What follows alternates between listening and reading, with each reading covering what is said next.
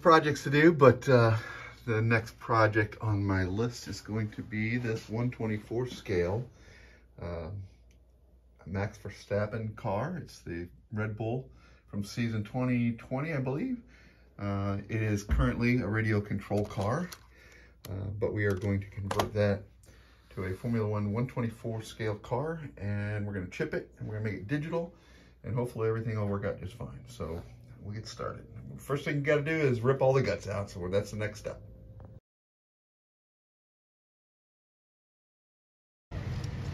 Basically, we're just going to take the bottom off, going to pull all the guts out. Um, radio control stuff we're not going to need as we go forward anyway, but there are some components in this that uh, can be salvaged for different things. There's some wiring and things like that. Okay, so the next part of this is getting rid of these electronics and stuff that we're not going to need. Don't need that lithium battery. Don't need this board in here. Um, I'll probably just cut the wires or pull them off the board. But I do save all the screws. I don't want to waste any screws because you never know when you're going to need them. So I have a little box. The idea is to try to do this without getting spending a ton of cash. So with a car that costs 40 bucks and then a chip that costs 40 bucks. Uh, and then eventually you might have to get tires or wheels depending on which way you go. So now see that, that little uh, gear on there? That's a one millimeter shaft on that. So those gears are have the same number of gears as the Formula One cars and the 917s that strip out the gears once in a while because you are uh, machining the tires or you put too much pressure on it, you're pushing the car. So those gears will actually work to replace those. So for me, I'm going to hang on to these.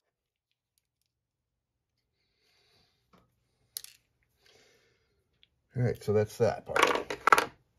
Now on this differential and motor assembly, so there's another motor there, it has another gear, but we're going to leave that in place for now because until I get the chassis built, which that's going to be like part four or whatever, then uh, we're not going to have, we want to use that to fine tune the fact that we have to have a guide keel and brushes and they have to be a certain distance. So we're going to go over some options for that. Uh, that's coming up here in a few minutes.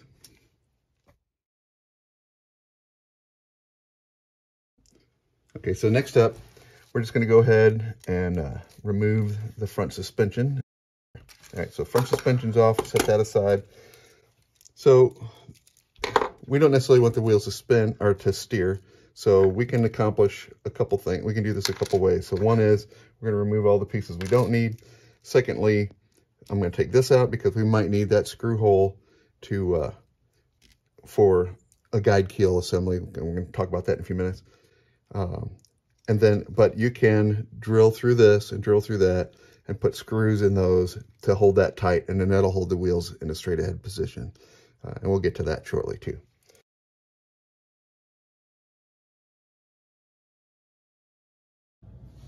All right, as we go forward, I'm going to disassemble this front suspension and I'm going to tighten it up temporarily. Uh, I may glue it together later, but for now, I'm just going to get these out. And you can see they're too short to use for uh, the what what my plan is to use the, uh, the this guide keel. So one way to tighten these up just temporarily, and I don't want it necessarily fall apart, but it's going to, And if I just take a pair of pliers and I squeeze the knuckles to the point that they're not square any farther, you just kind of squeeze them down, make them kind of oblong, put a little pressure on it. So now they're out around. That'll tighten it up so that while I work, I can figure out what I'm doing. So I'm just gonna squeeze these. Then when I put it back on the car, it's a little tighter. Takes a little force to put it in place. And see now it's already stiff enough that it doesn't move. The other thing I'm gonna do is I'm gonna drive that pin in to get that wheel a little closer. I did one of those. Uh, you see I made the pin go in. I actually just took it to my vise, stuck it in a vise and squeezed it. Didn't seem to hurt the wheel, but I did take the tire off to do it. But I think I can do it with a pair of channel locks uh, and this little piece of metal here. So we'll see if that works. If I get it on there just right, I should be able to, uh, just like having it in, in a bench vise, squeeze it down some. Oh, look at that, there it went. It's not too tight. enough movement, right? So, done.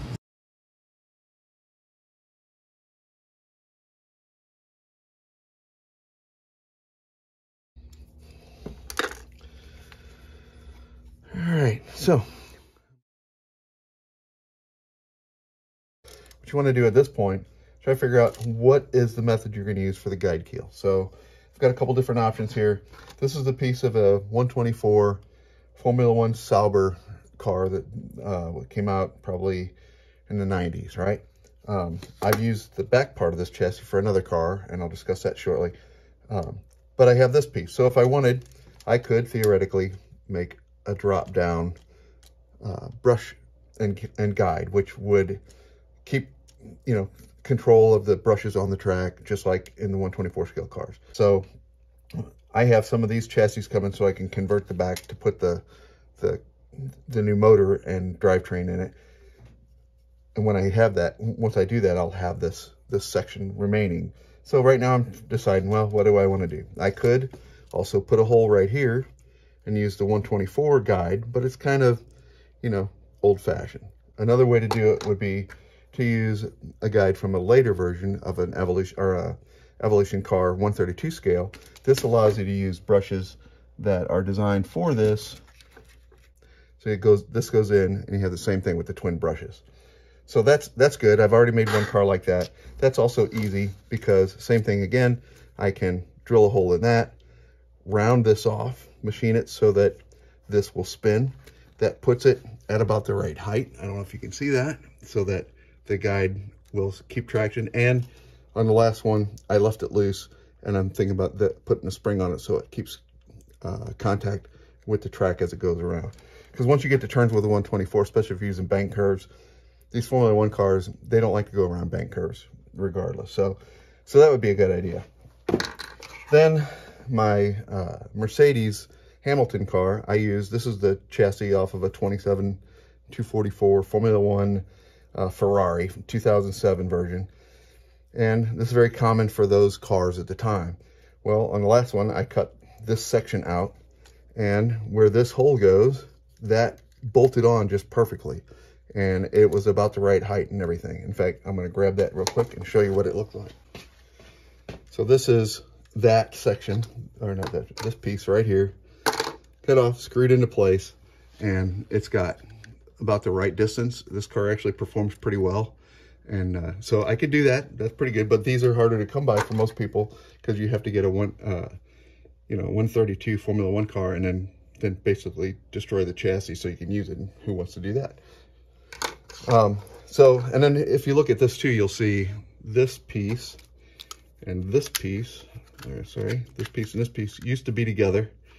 That's the motor section that supports the new motor that's going to go in, the gears and drivetrain that will get rid of this particular type. So uh, we'll cover that more later. So back to this. So the most common of these brush guard brush holders is what you see in the newer Carrera cars. And every DTM car, every GT car have this now. So I thought, well, that would be kind of cool if that fit. And uh, as luck would have it, it's about perfect. So I'm going to probably try this a lot of this stuff is just experimental. I, I do what I think works the best as I go, as I make each one of these cars. But I can't believe the luck on this, that those two screws that hold the suspension together are near perfect to support this device. As you can see, they're going to bolt right up. I'm just going to make a little shaving here and there. So those will go on, and it's just about the right height. I've stuck it on the track. I think what I'm to have to do is um, oops, sorry, what I'm gonna have to do is put a little uh, shim between it or a spacer, and then that will bring it to the right height. I even thought about possibly uh, gluing the suspension together, using this area with springs to allow it to move up and down. So I'm not sure what I'm gonna do yet. We'll uh, see how it goes as we go along, which is all part of what I'm doing here. But I'll probably take a little bit of this off. But right now, it looks like it will clear everything. I might even be able to put a pin on it so that that's spring loaded. This also puts the, the guide back further so that when you put the sensor for the track change, it can be back here or up here and has to be a certain distance from the guide in order for it to not run into the switch as it switches. But again, uh, it's something that we got to figure out how to do it. But I think this is the way I'm going to go because as I build these cars and I've got a, another Ferrari to do uh, and another Mercedes to do, if I do them all the same, we can I can put plans together and show people so that people can figure out how to do themselves. Uh, we put the front suspension back together and then I was going to talk about making spacers for this to hold this hold the guide down. Inside the remote for these cars, uh, once you take them apart, these are like just the bolt stands. You know, the bolts go through those. It's the anchors or the supports or whatever that come out. So I rip those things out. I use them all the time for different things. What I did was I cut two spacers, which I think they're going to be a little too thick, but I cut two spacers that thick out of this. If I have to get larger diameter screws, I'll drill those out. If this goes the way I think it's going to go, they need to be longer for sure, because that one's already kind of stripped out. No, that's actually getting tight. All right, so now, see, there it is. So if that was to go on the track, that's what how it would look. So I think this is the way I'm going to go.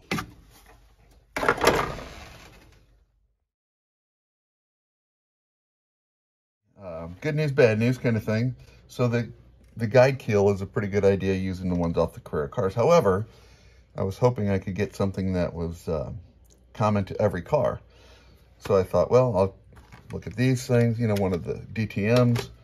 The one that I had is out of a uh, Peugeot like this.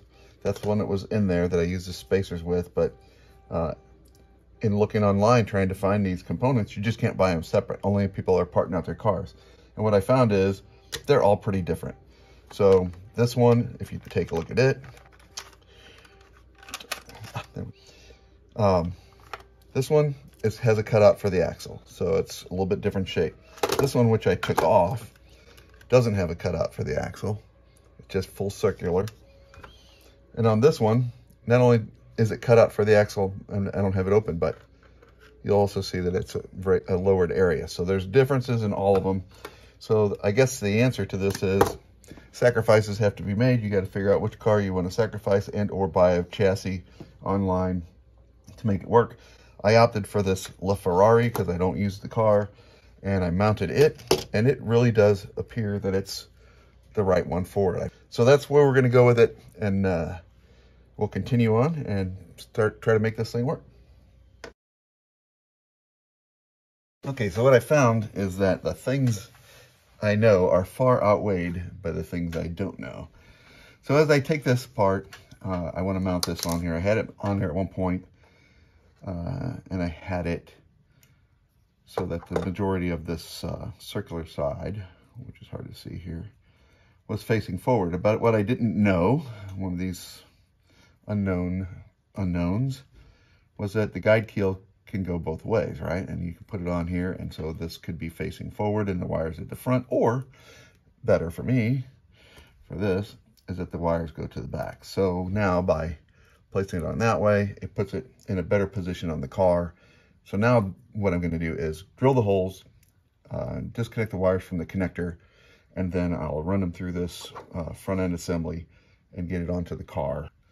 So I'm gonna uh, drill a hole right through here, which will put the wires to the inside of the front end assembly, and that will then allow the wires to run up where I can then connect the chip to it once I get the wiring done for the chip.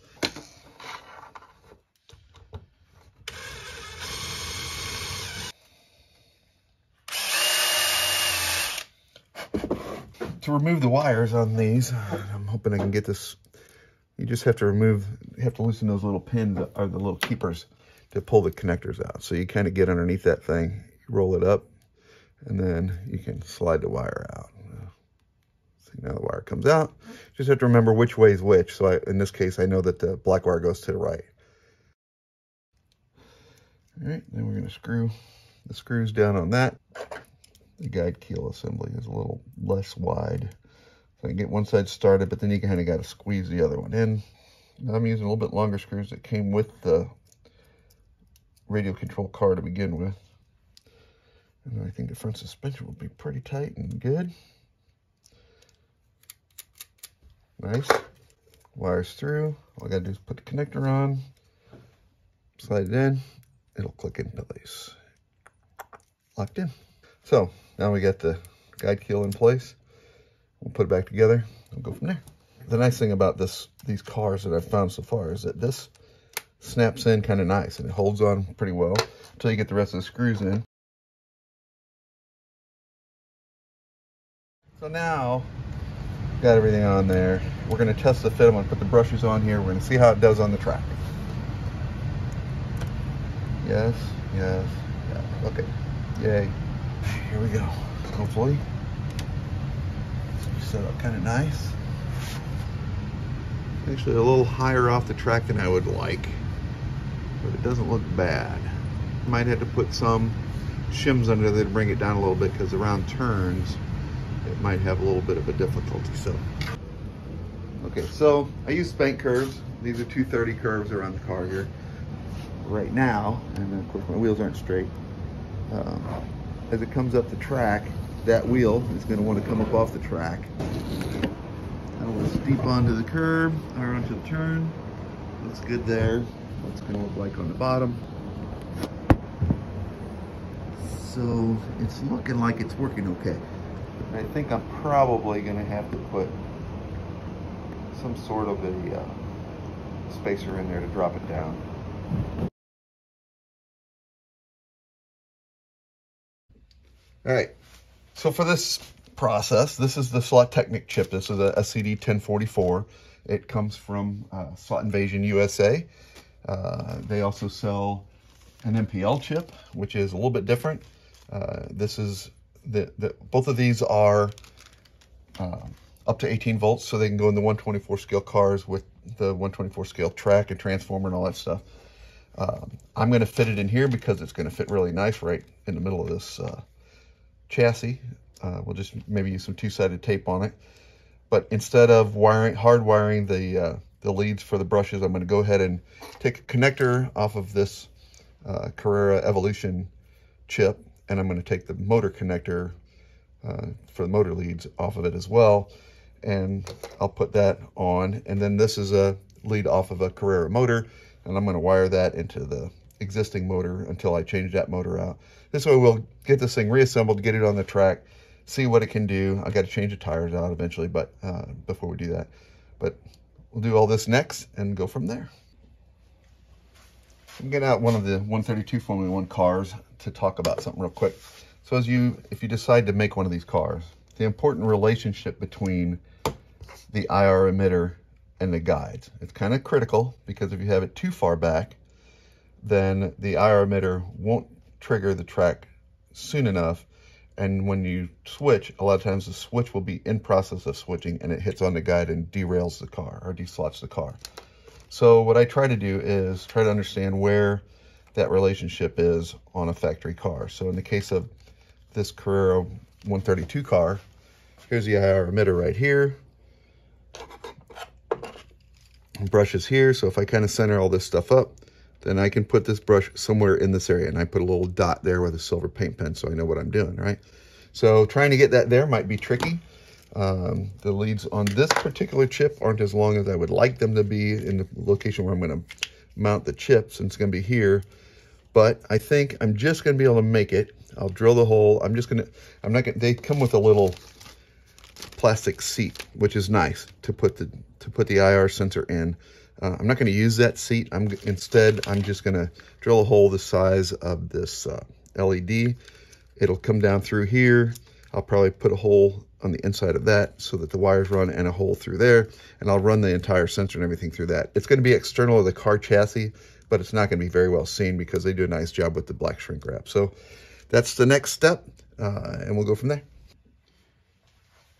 So to fit this LED, I'm going to use a number 32 drill bit which if you were to do that in, in a inch equivalent, it's 29 250ths. So you'd have to round it down to like 7 64ths or round it up to an inch and eighth, or to an eighth, or 7 64th down. So eighth up, 7 64th down. But this is a numbered drill bit, and it's number 32. Um, and I use this because it fits fits the LED pretty tight.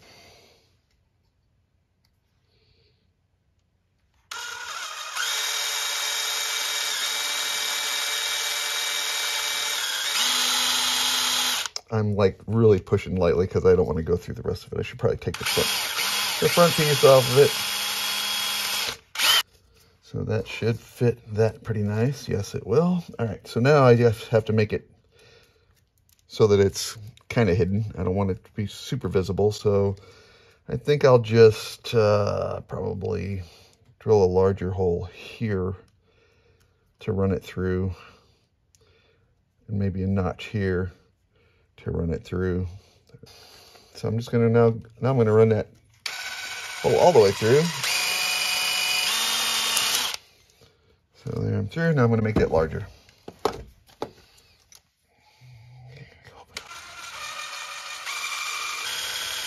You should be able to do it this way without, damn. Very close to where the Formula One mounts, all right? And if you, you have to also make sure that it's about in the right width-wise from the edge. If you want to check it, you can put it on the track, see where your, your uh, sensor eye hits, but it should go right through there. I think it'll be all right. So I was trying not to have the wires visible because I'm trying to make it look more realistic, but they'll be right there. I'll run them straight in there. I'll run a notch through that so it doesn't tear anything up. Then by the time I blacken the wires, you probably won't see them. I took this plate back out, drilled a hole through there. I guess you can see that. Uh, I kind of pushed down a little bit on the LED, turn the, turn the wires a little bit. You gotta be careful not to push these too hard because they will break. So now the wires come through there, it's notched out, goes through there. I notched out the top plate to allow the wires to go through. No, nothing's binding up. This will be for the for the brushes. That'll go to these wires. This will be for the motors. So that's the next part. Um, I'm gonna temporarily put those together. I'm not gonna not gonna make them uh, crazy. I'm gonna hook the connector on here, but I'm just gonna use a little shrink wrap to put them in place. No solder at this point. So before I even put hook the motor up, I could take this over to the track and see that my sensor is lined up correctly by just uh, putting the car, sliding the car, rolling the car on the track and see if I get a number change on the the position tower. So if I see a lap change when I go over it, that's good. Sometimes I'll run them over the uh, the switch, pull the switch trigger. I mean, I don't even have the motor hooked up to them. I'm just trying to see that I got that I got the uh, sensor in the right spot before I go too crazy. So there's my connections for that. So then I run it to the motor or to that. So now, without even hooking it to the motor, I can run it to the switch, run it over the switch and, uh, and see if I get a change if everything works here. All right, so let's put it on the track. And then, uh, like I said, I don't have the engine, the motor hooked up yet. The goal is just to see, does it have the capability to make the, uh, the sensor register a lap? So I'm just gonna push it over, in which case, yes, I now have one. So theoretically, even though I don't have the motor hooked up, I should be able to uh, program it. And then if I push it over a switch, uh, hopefully and hold that, the switch will change. And the switch did change, so that was good. So that means that I've got the eye in the right spot. So I'm good on that. So that, we'll go back and uh, finish up hooking the, uh, the motor up and we'll go uh, see how that does. All right, so I remember from the last one that I did that the, uh, in order to make this motor run the correct direction for the Carrera chip, I needed to uh, kind of wire it backwards than what you think. So the purple goes to black, the gray goes to the red wire. And uh, if this works, it should propel it at least. Um, it won't go anywhere because it has terrible tires, but all right, so so that's good. That's a good sign. Now if I uh, go down the track here, it should also, if it can make it down the track, and it switches. So good. We're going to put some tires on it. I'm going to put the top of the car on it, and I'm going to give it a test run before I solder everything together.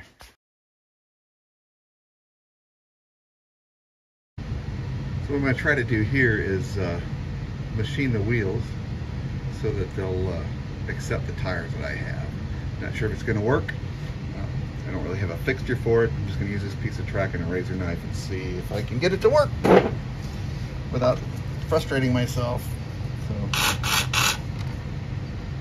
um, kind of hard to show you this, but let me see if I can move the camera to the other side here. Okay, so I can do this without knocking anything over, without trashing something. What I'm trying to do is take this outer edge off the wheel. I already cut it here down to the wheel. That's going to allow these, uh, I think these are 27 by 18 tires to fit on.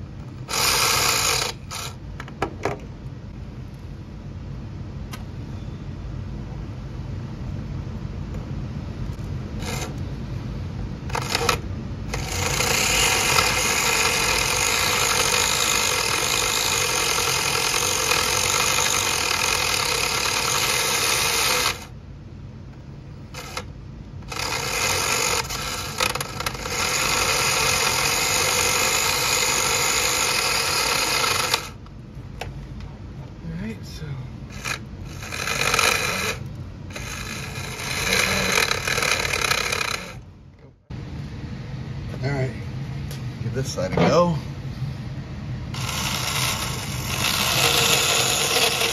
I'm just kind of sawing it out of there without I'm trying not to damage anything. All blood aside, that should allow me to put the tires on. If the motor held up enough to do the test, eventually we're gonna fit it with one of these RMS 124, which is uh, 24 volt max, but it's 12 volts. So it's um, 30,000 RPM. You can still run it on the 132 scale power supply. All right, so tires are on pretty good. So I added two magnets to it. One is a traditional Carrera uh, Formula One or DTM magnet. The other is off the stack right here. These are from a company called Magic Magnet. Um, they're fairly close to the right size, but they're not exactly right. Anyway, um, put the duct tape over it because I just want to be sure that if the magnets fall off, they don't hit anything. Now, we're going to give it a give it a go. Um, see what happens. See if it switches lanes, uh, does all that stuff. And here we go.